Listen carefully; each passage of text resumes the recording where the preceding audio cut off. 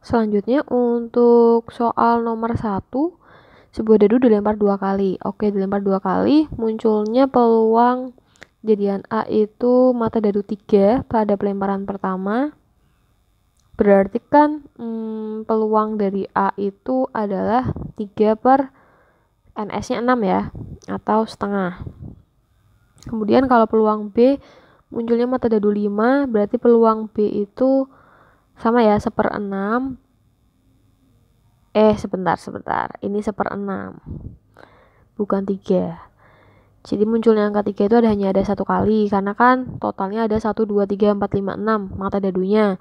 Nah, peluang munculnya 5 juga hanya ada satu. Oke, kemudian karena ini yang ditanyakan adalah ada kata dan bukan atau, maka rumusnya seperti ini. A irisan B atau dan B sama dengan peluang A dikali peluang B. Berarti seper 6 dikali seper 6 sama dengan seper 36. Kemudian nomor 2, jadi ada 3 pensil, 2 biru, 2 ballpoint biru sama 5 ballpoint hitam. Nah, e, jadi ada yang namanya aturan penjumlahan sama aturan perkalian. Aturan perkalian itu ketika mm, cara tersebut itu bisa digunakan secara bersamaan. Misalkan si A itu kalau mau ke rumah itu bisa melewati tiga jalan. Kemudian nanti dari tiga jalan itu uh, proses. Jadi misalkan A ke titik B, A ke titik B itu ada tiga jalan. Nah, B ke titik C yang di mana C itu adalah rumahnya itu bisa melalui lima jalan nih. Nah, ini jalanan yang A, B, dan BC itu kan bisa dilalui bersamaan. Itu menggunakan aturan perkalian. Tetapi untuk yang soal nomor 2, dia kan mau menulis, dia tidak bisa menggunakan satu pensil sama dua biru secara bersamaan. Nah, ini menggunakan aturan penjum belahan. Sehingga untuk soal nomor 2, berapa banyak pilihan alat tulis yang dapat dipakai Yasmin? Itu bisa kita tulis 3 plus 2 plus 5. Berarti ada berapa? 10 cara. Seperti itu. Kemudian untuk yang nomor 3, hmm, ada 5 lagu pop, 4 rock, sama tiga dangdut. Dia ingin mendengarkan lagu pop atau dangdut. Berapa banyak cara memilih lagu bisa didengar. Oke, sama seperti ini, ini juga tidak di tidak bisa dilakukan bersamaan. Berarti kita jumlahkan saja 5 plus 4 plus 3. 7 tambah 5, 12. Jadi ada 12 cara. Selanjutnya untuk nomor 4, jadi pelemparan dua dadu berarti NS-nya kita cari dulu 6 sama 6 ya, berarti 36. Lalu peluang muncul mata dadu berjumlah 5. A-nya itu 5. Berarti hmm, terdiri dari 1 4 2 3 3 2 4 1. Berarti NA-nya ada 4. Kemudian kejadian B itu berjumlah 7 berjumlah 7 berarti 1 6 2 5 3 4 4 3 5 2 6 1 jadi NB nya ada 6 kemudian apakah ada irisan ini menggunakan atau ya apakah ada irisan antara keduanya Hmm, tidak ada ya. 41 tidak ada, 32 juga tidak ada. Oke, berarti tidak ada irisan antara A sama B-nya.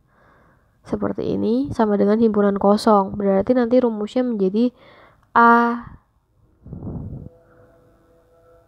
UB sama dengan peluang A ditambah peluang B. Peluang A-nya berarti 4 dibagi 36 ditambah peluang B-nya adalah 6 dibagi 36. Totalnya adalah 10 per 36. Bagi 2 berarti 5 per 8 plus seperti ini. Untuk nomor 5 itu ada satu logam sama satu dadu. Kita gambarkan dulu aja. Um, misalkan seperti ini, ini dadu, ini logam. Dadunya kan ada nomor 1, 2, 3, 4, 5, 5 nggak cukup ya? Kita perkecil lagi coba. 3 4 5 6 ada angka ada gambar Oke, kemudian peluang kejadian yang A itu adalah hmm, muncul gambar pada uang logam dan muncul bilangan prima pada oh ternyata tidak dikorelasikan. Sebentar. Jadi yang A itu adalah gambar pada uang logam. Munculnya gambar peluangnya berarti hanya ada satu ya jadi kan uang itu ada angka sama gambar kalau munculnya gambar berarti satu per dua Kemudian kalau yang B itu munculnya bilangan prima pada dadu. Bilangan prima itu mulai dari 2, 3, 5, 7. 7 tidak masuk, berarti hanya sampai 5. Berarti peluang B-nya itu ada 3 per 6. 6 itu dari banyaknya mata dadu, banyaknya mata pada dadu, ada angka 1 sampai 6. Berarti kalau kita sederhanakan 1 per 2. Karena yang ditanyakan ada uh, peluang A dan B berarti setengah dikali setengah sama dengan seper 4 selanjutnya untuk nomor 6 ada dua dadu dilempar. Berarti NS nya adalah 36 tentukan yang A itu adalah muncul mata dadu berjumlah 8 eh sorry berjumlah 3 berarti 3 itu 1 sama 2 2 sama 1 udah ya? Tiga berjumlah tiga. Sudah berarti hanya seperti ini. Kemudian kalau yang B ber, e, bernomor sama bernomor sama berarti titik sampelnya ada satu satu dua dua tiga tiga empat empat lima lima sama enam enam total B-nya ada 6, total A-nya ada 2. Kemudian karena ini menggunakan atau, apakah ada irisan? Tidak ada, berarti kita bisa tulis A irisan B itu adalah himpunan kosong, berarti masuk ke kejadian saling lepas. Sehingga peluang A atau B itu adalah peluang A ditambah peluang B. Peluang A-nya adalah 2 per 36 ditambah 6 per 36. Berarti 8 per 36. Bagi 4, bagi 2 dulu deh. 4 sama 18, bagi 2 lagi 2 per 9. Nah, seperti ini. Selanjutnya nomor 7 dalam kaleng tersisa 3 permen stroberi, 3 stroberi, sama 3 permen coklat. Jika dari kaleng diambil dua permen sekaligus, tentukan peluang mendapat satu permen stroberi sama satu permen coklat. Oke, okay, uh, eh, untuk ini kita akan menggunakan kombinasi ya teman-teman. Jadi nanti kalian bisa lihat di video sebelumnya. Hmm, yang pertama kita hitung dulu jumlah permen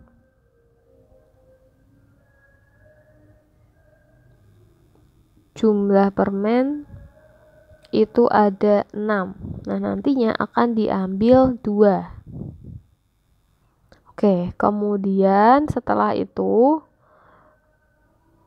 kita hitung dulu stroberinya stroberi kita tulis kombinasi totalnya kan ada 3 lalu dia akan mau diambil satu berarti seperti ini maka 3 faktorial 3 kurangi 1 faktorial kali 1 faktorial. 3 kali 2 faktorial per 2 faktorial 1 faktorial. Ini bisa dicoret, nanti didapatkan 3. Kemudian kita hitung yang coklat. Yang coklat sama ya, 3 sama 1. Berarti nanti kita bisa tulis 3. Kemudian kita hitung NS-nya. Dengan cara kombinasi totalnya itu kan ada 6 permen lalu diambil 2 berarti 6 faktorial 6 kurangi 2 faktorial kali 2 faktorial berarti 6 kali 5 kali 4 faktorial bagi 4 faktorial 2 faktorial. Ini bisa dicoret. Ini kan 2 bisa dicoret sama 6 3 berarti 15 maka yang ditanyakan adalah peluangnya. Maka peluang karena ini dan ya berarti nanti peluang A dan B nya itu adalah hmm, C31 dikali C31 dibagi C62 3 dikali 3 per 15 sama dengan 9 per 15 kita bagi 3 berarti 3 per 5 seperti ini Selanjutnya ada dua dadu berwarna merah dan biru. Peluang muncul mata dadu dua pada merah dan peluang muncul mata dadu tiga pada biru. Oke, sebentar. Dua pada merah, kemudian tiga pada biru. Ini menggunakan hubungan dan. Untuk soal nomor 8 berarti kita bisa hitung peluang kejadian A itu yang merah banyaknya kemungkinan kan satu karena mata dadu kan 1 sampai 6 yang muncul angka 2 berarti hanya satu kali dibagi jumlahnya kemungkinan ada 6 ya. Berarti seper 6 kemudian peluang dadu yang biru juga sama seper 6 jadi karena yang ditanyakan A dan B berarti eh, peluang A dikali peluang B. Hasilnya adalah seper 6 dikali seper 6 sama dengan 1 per 36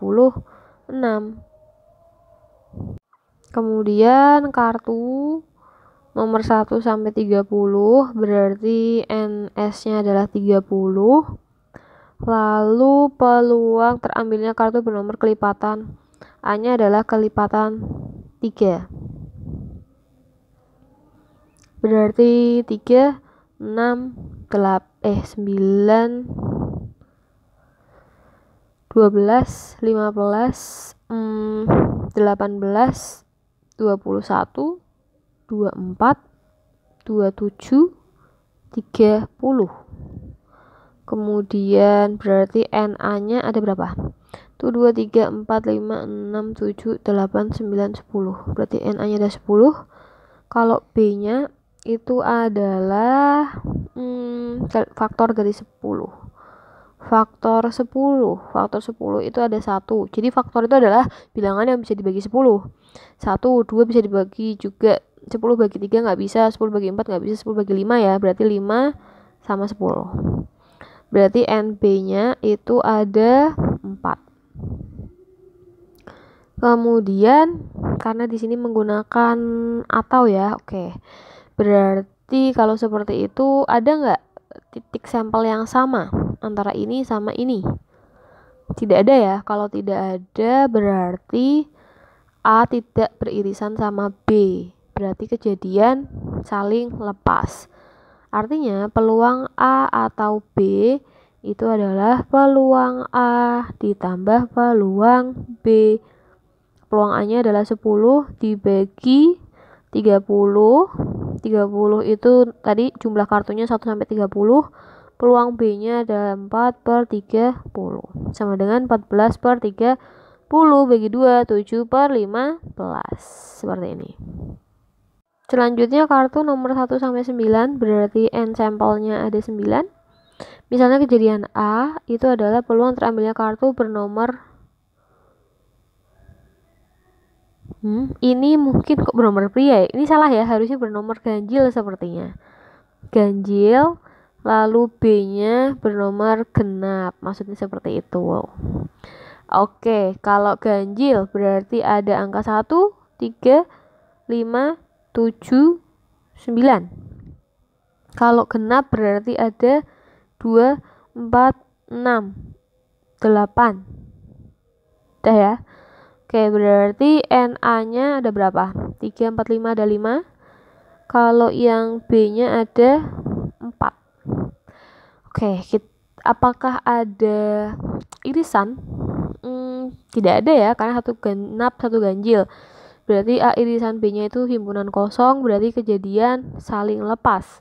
Maka, peluang A atau B itu peluang A ditambah dengan peluang B sama dengan 5 per 9 ditambah 4 per 9 9 per 9 nilainya 1 kemudian soal nomor 11 kartu bridge kartu bridge itu totalnya ada 52 berarti n sampelnya ada 52 kemudian tentukan peluang terambilnya kartu berwarna merah atau kartu as. Kartu warna merah itu totalnya ada 26 uh, kalau kalian mau lihat rinciannya itu ada di video sebelumnya yang bagian materi. Itu di situ ada kartu bridge kalau nggak salah. Jadi dicek aja. Jadi kartu merah itu ada 26 kemudian kalau kartu as itu totalnya ada 4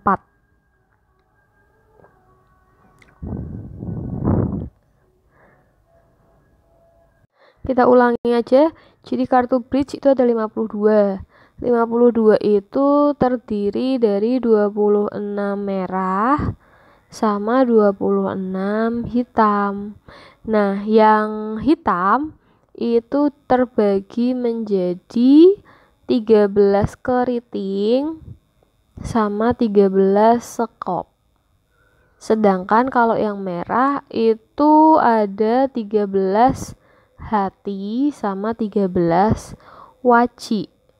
Nah, kartu as as itu totalnya ada 4. 4 itu terdiri dari hati, waci, sekop, sama keriting. Artinya apa? Artinya yang kartu merah itu ada 26 yang as kan ada empat. Ada nggak yang beririsan? Ada. Yang mana? Yang kartu as. As itu kan tadi terdiri dari kalau yang ada hati sama waci itu kan warnanya merah. Berarti yang irisan itu ada dua. Berarti ini masuk ke kejadian tidak saling lepas. Berarti peluang A atau B itu adalah peluang A ditambah peluang B dikurangi peluang A irisan B. Peluang A-nya berarti 26 dibagi 52. Peluang B-nya 4 dibagi 52 dikurangi 2 per 52 juga. Berarti 28 per 52 bagi 2 14 per 26 bagi 2 lagi berarti 7 per 13 jadi jawabannya adalah 7 per 13